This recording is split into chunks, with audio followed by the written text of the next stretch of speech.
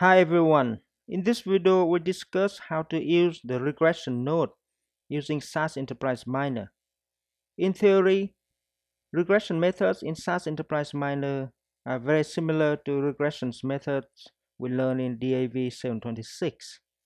The advantage is that we can run multiple regression models and compare them with data mining models using other methods such as decision trees or neural network. That would allow us to select the best predictive model. If the target variable is interval, we have linear regression models. If the target variable is categorical, we have logistic regression models. In this example, since our target variable is binary, we will run the logistic regressions. On the Model tab, select the regression node and drag it to the diagram workspace. Then connect it to the data partition node. Note that logistic regression does not have any required assumptions, such as normality or linearity, so we do not have to worry about transforming variables. On the Properties panel, we'll change some settings. In the Model Selection group, we change selections models to stepwise.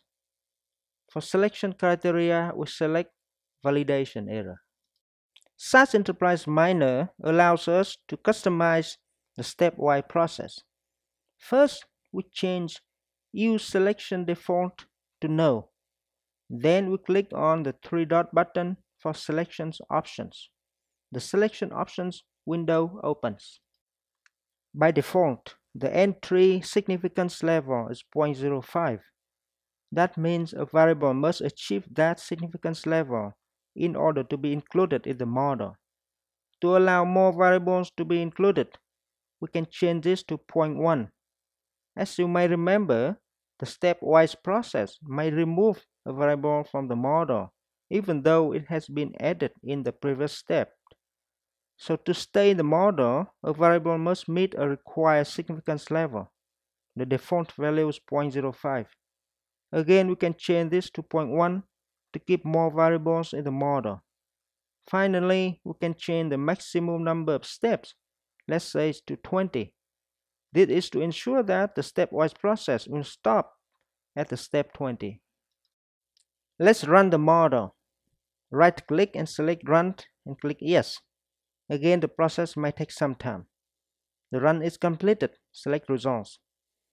We see some similar results with the decision tree model, such as cumulative lift chart, fit statistics, and output.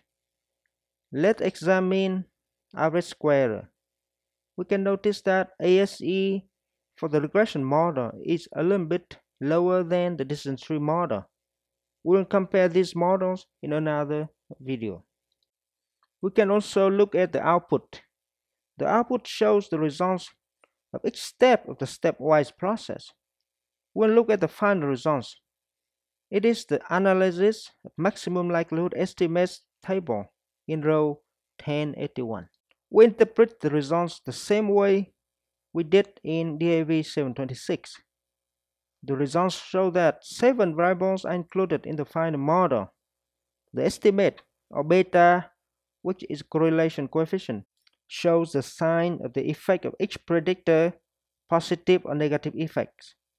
The exponential value also shows us the magnitude of the effect. For example, the exponential value for gift count 36 is 1.076. That means if we increase the value of this variable by one unit, the probability that a respondent is a gift giver to charity increases by 7.6%. Another interesting result we should look at. We go to View, Menu, and select Iteration Plot.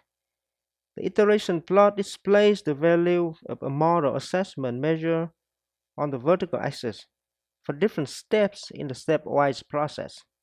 For example, looking at the training data it appears that the model with 10 steps has the lowest ASE.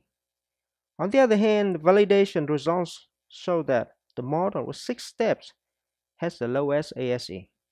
SAS Enterprise Miner determines the optimal of steps is 7.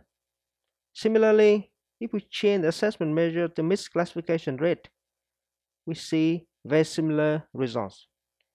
We interpret the cumulative lift chart and the ROC curve in the same way as we did with the decision tree. The final result is the effect plot, which contains a bar chart of the absolute coefficient of the model effects. The greater the absolute value, the more important that variable is to the regression model. This is the same as the estimate of beta in the output as we discussed before. The variables are listed by their respective order numbers in the final model instead of variable names. The blue means a positive relationship and the red means a negative relationship. Basically, this plot shows the regression correlation coefficient in the chart form. That is how to use the regression node in SAS Enterprise Miner. Thank you and bye now.